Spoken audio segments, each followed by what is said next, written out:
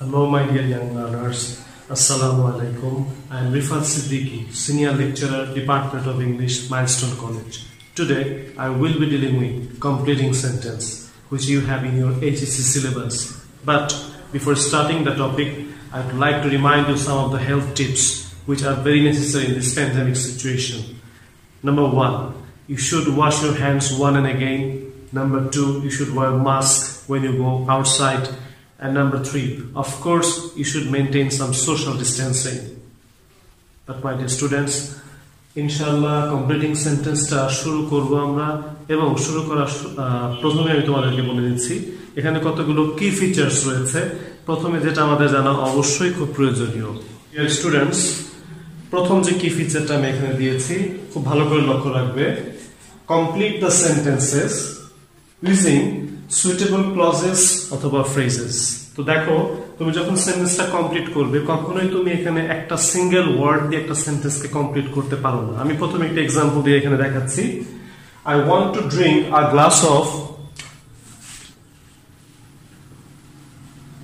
বাস answer শেষ হয়ে গেল। কেউ যদি এরকম ভেবে থাকো যে এখানে কি ওয়ার্ড দিয়ে দিলাম আমি I want to drink a glass of water না এটুক লিখলে কখনোই কোনোভাবে আনসারটা শেষ হবে না। এখানে অবশ্যই তোমাকে কিন্তু প্রথমে বলে দেওয়া হয়েছে সুইটেবল ক্লজেস অথবা ফ্রেজ ক্লজ অথবা ফ্রেজ দিয়ে আনসারটা শেষ করতে হবে। সেক্ষেত্রে আমরা এখন আনসারটা এভাবে লিখতে পারি I want to drink a glass of water as I am very thirsty যেহেতু আমি খুবই তৃষ্ণার্ত মানে এখানে কিন্তু আমি একটি ক্লজ দিয়ে এখানে অ্যাজ দিয়ে নতুন একটি ক্লজ যুক্ত করে দিয়ে আমি তারপর সেন্টেন্সটা এখানে কমপ্লিট করলাম। কোনোভাবেই একটা সিঙ্গেল ওয়ার্ড দিয়ে একটা সেন্টেন্সকে এভাবে কমপ্লিট করা যাবে না। এই মুহূর্তে এখানে সেকেন্ড যে কি ফিচারটি দেখতে পাচ্ছ, এখানে আমি একটা টাইটেল দিয়েছি ফলো দ্য প্রিভিয়াস সেন্টেন্স খুব ভালো করে যদি বিষয়টা বলি, তাহলে বিষয়টা হচ্ছে এরকম। তোমার পরীক্ষায় যে কমপ্লিটিং সেন্টেন্সের প্রশ্নটা আসবে, সেখানে তুমি ভালো করে লক্ষ্য রাখবে, তোমার প্রশ্নটার আগে এখানে একটা প্রিভিয়াস সেন্টেন্স দেওয়া থাকবে। আমি একটা এক্সাম্পল দিয়ে দেখাচ্ছি। An unhealthy man can not enjoy his life একজন মানুষ যার যে কিনা স্বাস্থ্যহীন, সে কখনো তার লাইফকে এনজয় বা উপভোগ করতে পারে না। এটাই হচ্ছে সেই লাইনটা এই লাইনটা বা এই সেন্টেন্সটা দিয়ে তারপর তোমার প্রশ্নটা শুরু হচ্ছে। প্রভার্ব গোজ দ্যাট একটা প্রবাদ আছে যে, অনেক সময় এরকম টাইপের সেন্টেন্স থেকে থাকে এবং এক্ষেত্রে অনেকেই যে কাজটা করে থাকে, এরকম একটি আনসার লিখে থাকে। টিট ফর ট্যাট যার বাংলা অর্থ দাঁড়াচ্ছে, ইট মারলে পাটকেল খেতে হয়। তো দেখো এর আগের সেন্টেন্সটার সাথে, এই পরের সেন্টেন্সটা বা পরের যে প্রবাদ তার সাথে দূর দূর দূরান্ত দিয়ে কোনো প্রকার কোনো কানেকশন নেই। এবং এখানে ইট বা পাটকেল কোনোটা না খেলেও তুমি পরীক্ষা অ্যাটলিস্ট কোনো মার্কস পাবে না। তো এখানে অবশ্যই আগের সেন্টেন্সটা ফলো করে তোমাকে আনসার লিখতে হবে। এক্ষেত্রে আনসারটা এমন হতে পারে এ প্রভাব গোজ দ্যাট যেহেতু unhealthy man cannot enjoy his life আমরা এরকম আনসার দিতে পারি। Proverb goes that health is wealth বা স্বাস্থ্যই সকল সুখের মূল। সেক্ষেত্রে এরকম একটি আনসার লিখলে হবে না? অবশ্যই আনসারটা এর সাথে সঙ্গতিপূর্ণ হতে হবে। আশা করি বিষয়টা বুঝতে পেরেছ। তোমাদেরকে একটি বিষয় মনে রাখতে হবে। কমপ্লিটিং সেন্টেন্স আইটেমটি তোমাদের এইচএসসি সিলেবাসের সেকেন্ড পেপারে চার নম্বর আইটেম হিসেবে আসে এবং এখানে মোট মার্কস হচ্ছে ফাইভ এবং এখানে মোট দশটা সেন্টেন্স তোমাকে কমপ্লিট করতে হবে। তো যে প্রবলেমটা অনেকেই ফেস করে থাকে, অনেকেই জিজ্ঞেস করে থাকে আমাদেরকে যে আনসারটা কীভাবে করব? আনসার প্যাটার্ন তো এখানে দেখতে পাচ্ছ, আমি আমি আমি first একটা প্রশ্ন লিখে নিয়েছি এখানে ওডিও মাইন্ড দিয়ে একটা প্রশ্ন দেওয়া আছে। হয়তো একটা আগে একটা সেন্টেন্স ছিল বাট আনসার লেখার সময় অনেকেই যে কাজটা করে থাকো, শুধুমাত্র আনসারটা লিখে আন্ডারলাইন করে বাস দিয়ে দাও। না, এভাবে কোনোভাবেই আনসার লিখবে না। তুমি অবশ্যই অ্যাটলিস্ট যেই সেন্টেন্সটাতে গ্যাপ রয়েছে, যেই সেন্টেন্সটাতে গ্যাপ রয়েছে, সেই সেন্টেন্সটা লিখে আনসার লিখে আনসার নিচে আন্ডারলাইন করে, তারপর অবশ্যই প্রেজেন্ট করবে। বিষয় আশা করি বিষয়টা খুব ভালো করে বুঝতে পেরেছ। কোনোভাবেই শুধু আনসারটা লিখবে না। খুব ইজি একটি স্ট্রাকচার দিয়ে আমরা প্রথম রুলটা শুরু করতে যাচ্ছি। এট ফার্স্ট আমরা সেন্টেন্সটাকে দেখি এখানে। The student works hard so that she can make a good result তো এখানে সো দ্যাট বা ইন অর্ডার দ্যাট এর বাংলা অর্থ যেটা দাঁড়াচ্ছে সেটা হচ্ছে যাতে বা যাতে করে। এখন লক্ষ্য রাখো এখানে সো দ্যাটটা সাধারণত দুইটা ক্লজের মাঝখানে এখানে বসবে। এবং আমাদেরকে যেটা লক্ষ্য রাখতে হবে সেটা হচ্ছে সো দ্যাট এর আগের অংশটুকু। দ্যাট মিনস সো দ্যাট যখন সেন্সের মাঝখানে থাকবে, তার আগের অংশটুকু যদি প্রেজেন্ট টেন্স থাকে, যেমন the student works the student third person singular number হওয়ার জন্য এখানে ভার্বের সাথে একটি এস বসেছে প্রেজেন্ট ইনডিফিনিট টেন্স হওয়ার জন্য। তার মানে আমরা বুঝতে পেরেছি এটা প্রেজেন্ট টেন্সে আছে। তো প্রথম অংশটুকু যদি প্রেজেন্ট টেন্স থাকে, তাহলে তার পরের অংশ আমরা যেটা করব সাবজেক্টের পরে আমরা ক্যান ইউজ করব। আমরা সাবজেক্টের পরে দিব ক্যান এবং তারপর আমরা যা নিশ্চয়ই জানি can could may might shall should এই সবগুলো হচ্ছে মোডাল অক্সিলারি ভার্ব আর মোডাল ভার্বের পর সবসময় ভার্বের বেস ফর্ম বা প্রেজেন্ট ফর্মটা বসে এখানে সেটাই বসেছে মেক আ গুড রেজাল্ট যদি আমরা বাকি অংশটুকু কমপ্লিট করেছি। তার মানে সো দ্যাট থাকলে যে বিষয়টা লক্ষ্য রাখব, যদি আগের অংশটুকু প্রেজেন্ট টেন্স থাকে, তাহলে সাবজেক্টের পরে হবে ক্যান আর যদি আগের অংশটুকু পাস্ট টেন্স থাকে, তাহলে পরের অংশটা হবে কুড যেমন দ্য স্টুডেন্ট ওয়ার্কস এখানে ওয়ার্কস না থেকে যদি আমরা এখানে ওয়ার্ড দিতাম, তাহলে সে অংশে আমরা ক্যান ইউজ না করে এখানে ইউজ করতাম could the student work hard so that she could make a good result আমি নিচে এখানে স্ট্রাকচারটিও দিয়ে দিয়েছি। তো আশা করব ইনশাআল্লাহ তোমরা স্ট্রাকচারটা লক্ষ্য করলে বিষয়টা তোমাদের কাছে ইজি মনে হবে এখন। রুল নাম্বার টু তে তোমরা এখন এই মুহূর্তে যেটা দেখতে পাচ্ছ, আমরা প্রথমে এক্সাম্পলটা আগে দেখাবো এক্সাম্পলটা এখানে। The boy was so weak that he could not walk হ্যাঁ তুমি ঠিকই বুঝতে পেরেছ। এখানে আগের অংশটার সাথে অনেকখানি এইটাতে মিল রয়েছে।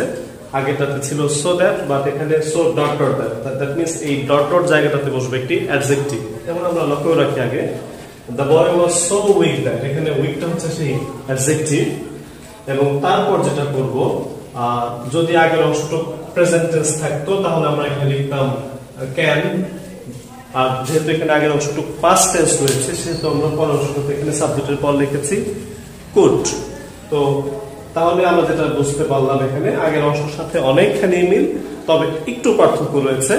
আগের অংশটাতে আমরা ক্যান বা কুড ইউজ করতাম, কিন্তু এখানে আমরা ইউজ করব ক্যান নট অথবা কুড নট কারণ কি? এখানে অর্থটাই দাঁড়াচ্ছে এরকম, এত যে। That means the boy was so weak that অর্থটা কিন্তু একটা নেগেটিভ মিনিং এর দিকে যাচ্ছে। The boy was so weak ছেলেটি এত দুর্বল ছিল যে হি কুড নট ওয়াক সে হাঁটতে পারতো না। এই অংশটার জন্য আমরা এখানে ক্যান নট অথবা কুড নট ইউজ করব। প্রেজেন্ট হলে ক্যান নট পাস্ট হলে কুড নট স্ট্রাকচারটি আমি এখানে নিচে দিয়ে দিয়েছি। তোমরা একটা গ্লেজ একটু দেখে নিলে তোমাদের জন্য সুবিধা হবে। ভালো করে লক্ষ্য রাখবে। ডিয়ার স্টুডেন্টস এই মুহূর্তে খুব খুব ইজি এবং খুব কমন একটি নিয়ম যে নিয়মটা অনেক সময় পরীক্ষাতে আসে। এরকম একটি নিয়ম আমরা এই মুহূর্তে দেখব। ইট ইজ টাইম বা ইট ইজ হাই টাইম তার বাংলা অর্থ দাঁড়াচ্ছে, এটি উপযুক্ত সময়। তো আমরা সর্বপ্রথম এক্সাম্পলগুলো আগে দেখি এখানে। It is time it is high time যে কোনো একটি দিয়ে শুরু হতে পারে সেন্টেন্সটি তারপর যেটা হচ্ছে একটা স্ট্রাকচার আমি দেখাচ্ছি এখানে। It is high time we started our journey তার মানে ইট ইজ টাইম বা ইট ইজ হাই টাইম থাকলে আমরা একটি স্ট্রাকচার এভাবে ফলো করতে পারি। প্রথমে আমরা সাবজেক্ট দেবো এবং সাবজেক্টের পর থাকবে ভার্বের পাস্ট ফর্ম ভার্বের পাস্ট ফর্ম দিয়ে আমরা সেন্টেন্সটাকে কমপ্লিট করতে পারি। It is high time we started our journey it is high time we left the place এরকম ভাবে একটি সেন্টেন্স হতে পারে। সেকেন্ড এই সেন্টেন্সটা আরও নানা ভাবেও লেখা যায় আরেকটি ওয়ে আমরা দেখছি। সেকেন্ড যে ওয়েটি it is time to start our journey হ্যাঁ এভাবে আমরা লিখতে পারি সেন্টেন্সটা ইট ইজ টাইম তারপর আমরা টু দিয়ে ভার্বের বেস ফর্ম স্টার্ট এটা কিন্তু ভার্বের বেস ফর্ম এখানে। এভাবে আমরা কমপ্লিট করতে পারি। আরেকটা ওয়ে আছে। ইট ইজ টাইম তারপর যদি কখনো পরীক্ষার প্রশ্ন তোমরা দেখতে পাও যে ফর দেয়া আছে। সেখান থেকে তোমাকে কমপ্লিট করতে হবে। তাহলে তুমি কি করবে? এই স্ট্রাকচারটা এখান থেকে একটু ভালো করে লক্ষ্য রাখবে। It is time for for এর পর তোমাকে এখানে একটি পার্সোনাল অবজেক্ট প্রোনাউন ইউজ করতে হবে। যেমন আমি এখানে ইউজ করেছি আস উই থেকে আস তারপর আবার টু থেকে টু থেকে মেইন ভার্ব এবং তারপর বাকি অংশটুকু। লক্ষ্য রাখবে তাহলে, যদি ইট ইজ টাইম থাকে, তাহলে আমরা এরপরে সাবজেক্ট সাবজেক্টের পরে ভাবে পাস ফর্ম করতে পারি। ইট ইজ টাইম যদি হয়, সেক্ষেত্রে আমরা এরপর টু দিয়ে ভাবে বেস ফর্ম করতে পারি, যদি কখনো পরীক্ষার প্রশ্নে ফর থেকে থাকে, সেক্ষেত্রে আমাকে তারপর একটি পার্সোনাল অবজেক্ট প্রোনাউন দিয়ে তারপর টু থেকে বাকি অংশটুকু দিয়ে আমাদেরকে কমপ্লিট করতে হবে। আশা করি তিনটা এক্সাম্পল দেখলে তোমার কাছে বিষয়টা খুব ইজি বলে মনে হবে। আমরা নতুন আরেকটি বিষয় শুরু করতে যাচ্ছি।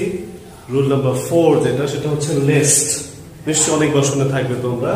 এর বাংলা অর্থ হচ্ছে যাতে না নয়তো তা না হলে এরকম একটি অর্থ প্রকাশ করে। আমরা সর্বপ্রথম একটা এক্সাম্পল দেখছি এবার। You have to read attentively তোমাকে খুব মনোযোগ দিয়ে পড়তে হবে লেস্ট তা না হলে নয়তো এরকম একটি অর্থ। এবং তারপর সেন্সটা আমরা কীভাবে কমপ্লিট করব সেটা আমরা দেখছি এখানে। You should fail in the exam নয়তো তুমি আমার পরীক্ষায় ফেল না করে বসো। এখানে দেখো একটা ব্যাপার। অনেকে একটা ভুল করে থাকে লেস্ট দেওয়ার পর বাকি অংশটাতে নতুন করে আবার নেগেটিভ অংশ তারা ইউজ করে থাকে। কিন্তু না লেস্ট শব্দটার ভেতরে নেগেটিভ কথাটি রয়েছে বা না কথাটি রয়েছে। সুতরাং তোমাকে কোনোভাবেই নতুন করে আর নেগেটিভ কোনো কিছু এখানে ইউজ করতে হবে না। তার মানে আমরা স্ট্রাকচারটা যেটা দেখতে পাচ্ছি এখানে you have to read attentively লেস্টের পর থেকে যে বিষয়টা আমরা লক্ষ্য রাখব এখানে সাবজেক্ট থাকবে। সাবজেক্টের পর তুমি এখানে শুড অথবা মাইন্ড আমি এখানে শুড ইউজ করেছি বাট আমি এখানে চাইলে মাইটও ইউজ করতে পারতাম। বা মাইট থেকে যে কোনো একটি মডেল তুমি ইউজ করবে তারপর অবশ্যই ভাববে বেস ফর্ম সবসময় মডেলের পর ভাববে বেস ফর্ম বসে থেকে বাকি অংশটুকু। এই স্ট্রাকচারটুকু মনে রাখলে ইনশাল্লাহ লেস্ট নিয়ে কখনোই তোমার কোনো সমস্যা হবে না। অ্যাজ ইফ অ্যাজ দো যার বাংলা অর্থ হচ্ছে যেন কমপ্লিটিং সেন্টেন্স করতে গেলে খুব কমন একটি বিষয়, এটা প্রায়ই তোমাদের পরীক্ষাতে আসে। তোমরা লক্ষ্য রাখবে সেন্টেন্সটা আমি একটা এক্সাম্পল দিয়ে আগে শুরু করতে যাচ্ছি। সিমি বিহেভস সিমি সে থার্ড পার্সন সিঙ্গুলার নাম্বার এবার আমার ভাবের সাথে এখানে এস দিয়েছি। সিমি বিহেভ সে এমন আচরণ করে অ্যাজ ইফ যেন সি বিকেইম আ সেলিব্রিটি যেন সে একজন সেলিব্রিটি হয়ে গেছে। সেলিব্রিটি মানে কি? যারা তোমার তারকা পর্যায়ে। হ্যাঁ, তো এখানে বিষয়টা আমরা লক্ষ্য রাখব এখানে। তো অ্যাজ ইফ বা অ্যাজ দো সবসময় সেন্টেন্সে ঠিক মাঝখানে বসবে এবং যে স্ট্রাকচারটা আমাদেরকে মনে রাখতে হবে, আমি স্ট্রাকচারটা নিচে না লিখে তোমাদেরকে একটু ভেঙে ভেঙে দেওয়ার চেষ্টা করব এখানে। তো সবসময় লক্ষ্য রাখব যে প্রথম অংশটুকু যদি প্রেজেন্ট টেন্স থাকে, ভালো করে লক্ষ্য রাখবে, প্রথম অংশটুকু যদি প্রেজেন্ট টেন্স থাকে, তাহলে পরের অংশটুকু অ্যাজ ইফ বা অ্যাজ দো যাই থাকুক না কেন, তাহলে আমরা পরের অংশটুকু যেটা হবে সাবজেক্টের পরে ভার্বের পাস্ট ফর্ম হবে। মনে রাখব আমরা সবাই। যে যদি প্রথম অংশটুকু প্রেজেন্ট টেন্স থাকে, তাহলে পরের অংশটুকু হবে past indefinite tense past indefinite tense মানে সাবজেক্টের ভার্বের পাস্ট ফর্ম হবে। তো আমরা চাইলে এই অংশটুকু অন্যভাবেও লিখতে পারি। যেমন সিমি বিহেভস অ্যাজ ইফ এখানে তো বিকেইম বিকেইম মানে হওয়া বিকাম থেকে বিকেইম হয়েছে। আমি যদি এখানে এটা লিখতাম এখানে ধরো, আমি এই অংশটাতে এখানে বিকেইম না লিখে লিখতাম ওয়ার তাহলেও কিন্তু এটা পাস্ট ইনডিফিনিট টেন্স হতো। এখানে হয়তো অনেকের প্রশ্ন পারে যে এখানে কেন হলো? আসলে এখানে একটা স্ট্রাকচার রয়েছে, খুব ছোট্ট একটি নিয়ম রয়েছে। নিয়মটি হচ্ছে এরকম যে ইফ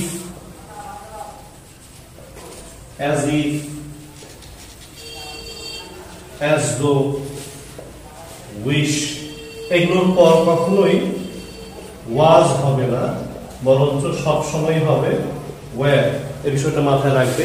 এই অংশটুকু মনে রাখলে আশা করি তোমার এই কনফিউশন তার কখনো থাকবে না। তাহলে এখানে ওয়াজ হওয়ার কথা থাকলেও এখানে হচ্ছে were Simi behaves as if she were celebrity আমি চাইলে এভাবে লিখতে পারি এখানে। তো আমি আবার আগে ফেরত যাচ্ছি এখানে। সে বিকেইম আমি দিয়েছিলাম সে বিকেইম আ সেলিব্রিটি তো যদি কোনো কারণে প্রথম অংশটুকু প্রেজেন্ট টেন্স না হয়, তাহলে কি হবে? আসলে আমরা সেটাও দেখিনি এখানে। ধরো এখানে প্রথম অংশটুকু ছিল, এতক্ষণ প্রেজেন্ট টেন্স কিন্তু আমি যদি এখন এটাকে পাস্ট টেন্সে রূপান্তর করি সিনি বিহেভড এখন কিন্তু এটা পাস্ট টেন্সে রয়েছে। তো প্রথম অংশটুকু যদি পাস্ট টেন্সে থাকে, তাহলে পরের অংশটুকু তখন হয়ে যাবে পাস্ট পারফেক্ট টেন্স তাহলে আমাদের এখন টেন্সটা চেঞ্জ করতে হচ্ছে এখানে। She had become she had become লক্ষ্য রাখবে পাস্ট পারফেক্ট টেন্সের স্ট্রাকচার নিশ্চয়ই সবাই জানি। সাবজেক্ট সাবজেক্টের পরে হ্যাড এবং সবসময় ভার্বের ভি থ্রি বা past participle form become became become তো Simi behaved as if she had become a celebrity তো এভাবে আমরা নিয়মটা মনে রাখব যে অ্যাজ ইফ বা অ্যাজ দো সবসময় বসবে সেন্টেন্সের ঠিক মাঝখানে প্রথম অংশটুকু যদি প্রেজেন্ট টেন্স থাকে, তাহলে পরের অংশটুকু হবে পাস্ট ইনডিফিনিট বা পাস্ট সিম্পল আর প্রথম অংশটুকু যদি কখনো পাস্ট টেন্স থাকে, তাহলে পরের অংশটুকু হবে পাস্ট পারফেক্ট টেন্স বাস এইটুকু অংশ মনে রাখলে অ্যাজ ইফ বা অ্যাজ দো নিয়ে কখনোই তোমাদেরকে কোনো সমস্যায় পড়তে হবে না। মিনিং এর দিক থেকে অ্যাজ ইফ বা অ্যাজ দোর সাথে কোনো প্রকার সম্পর্ক না থাকলেও স্ট্রাকচারের দিক থেকে অনেকখানি সম্পর্ক রয়েছে এই সিন্সের ক্ষেত্রে। সিন্স যার অর্থ দাঁড়াচ্ছে যখন বা সময় ইন্ডিকেট করতে মূলত আমরা সেন্স ইউজ করে থাকি। তো আমরা একটা এক্সাম্পল দেখব এখন। Many years have passed since I saw her last অনেক দিন হয়ে গেছে, তাকে আমি শেষ দেখেছিলাম।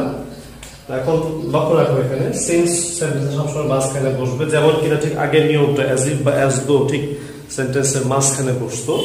তো এখানেও ঠিক আগের মতোই, যেহেতু এখানে আমরা দেখতে পাচ্ছি প্রথম অংশটুকু প্রেজেন্ট টেন্সে রয়েছে। Many years have passed present perfect tense এখানে রয়েছে।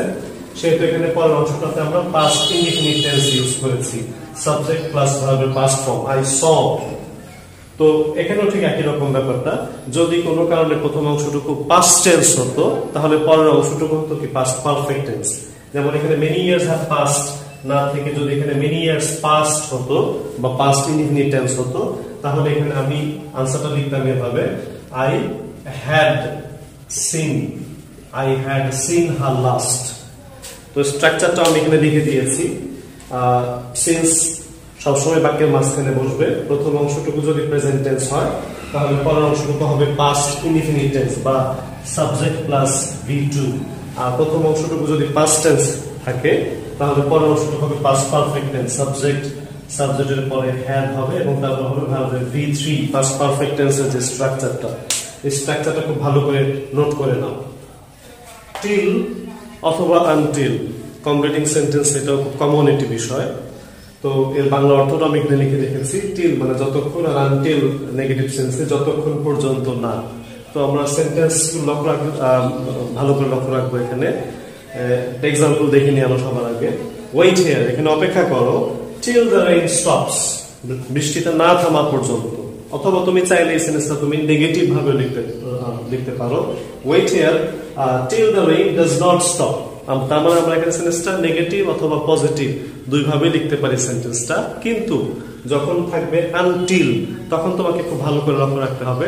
আনটিলের পর কিন্তু কি করা যাবে না। কোনোভাবে আর নেগেটিভ করা যাবে না। যেমন wait here until the rain stops এখানে আমাকে অবশ্যই সেন্টেন্সটা অ্যাফার্মেটিভ ভাবে লিখতে হবে।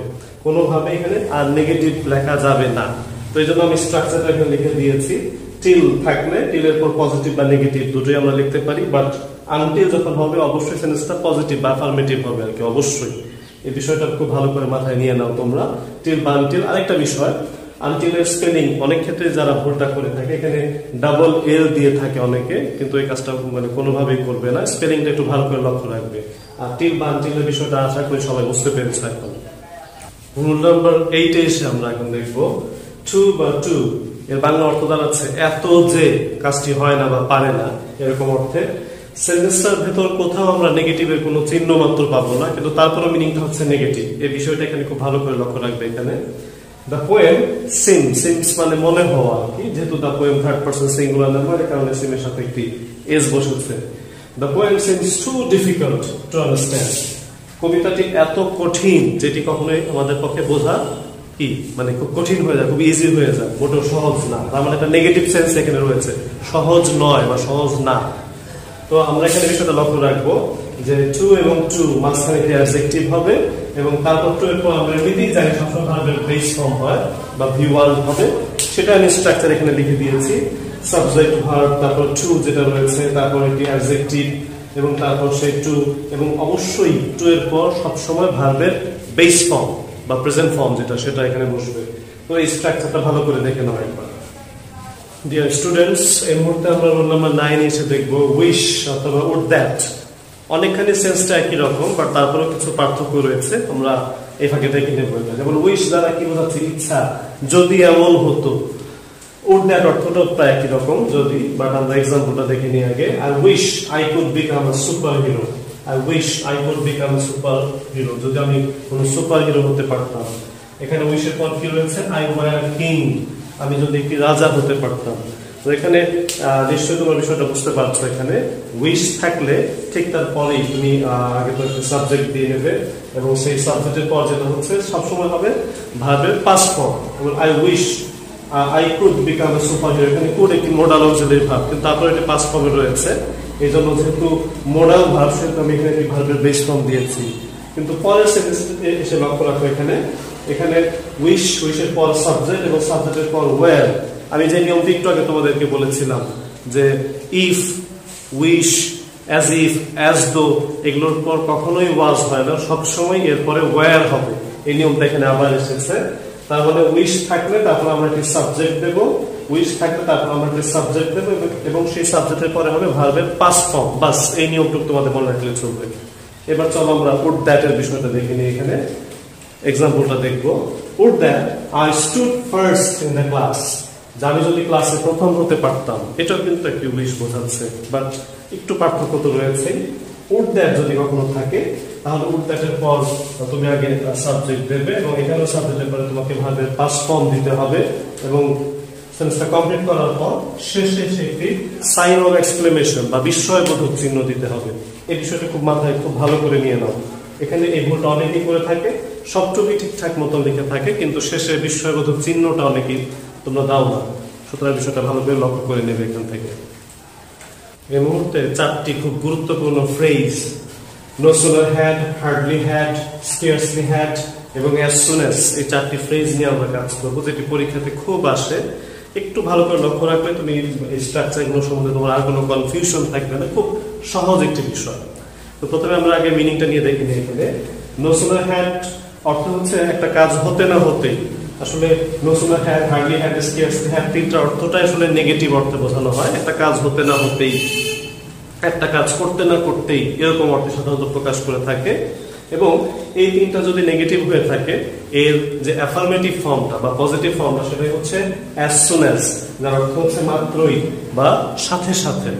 আমরা একটা সেন্টেন্স দেখে নিই এখন। No sooner had I seen the thief then he ran away আমি চোরটিকে দেখতে না দেখতেই সে এখান থেকে পালিয়ে গেল। হি র্যান অ্যাওয়ে তো এখানে স্ট্রাকচারটা নিশ্চয় দেখতে পাচ্ছ। তো এই হ্যাড স্কেয়ার্সলি হ্যাড তিনটার বেলাতে বেশ খানিকটা মিলও রয়েছে, আবার একটু অমিলও রয়েছে, সেটা নিয়ে এখনই আলোচনা করছি। একটু ওয়েট করো। তো প্রথমে দেখো নোসুলার হ্যাড আই সিং এই অংশটুকু হয় had I seen past perfect টেন্সে রয়েছে যদি এখানে হ্যাড আগে রয়েছে। তো ইংরেজিতে অনেক সময় এরকম অক্সিলারি ভার্বটা সামনে এসে পড়ে। এই অংশটাকে বলা হয় ইনভার্সন তো ইনভার্সন নিয়ে এই মুহূর্তে আর আলোচনা করব না। আমরা শুধু মনে রাখব যে এই অংশটুকু রয়েছে, এখানে পাস্ট পারফেক্ট টেন্সে রয়েছে।